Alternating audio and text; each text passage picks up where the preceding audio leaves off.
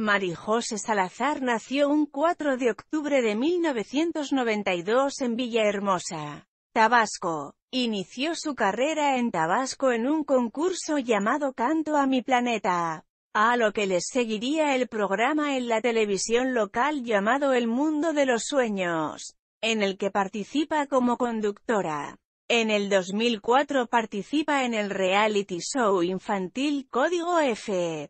A. M. A, en su segunda edición, en el que queda segundo lugar, atrás de Jonathan Becerra, a la salida de Código Fama.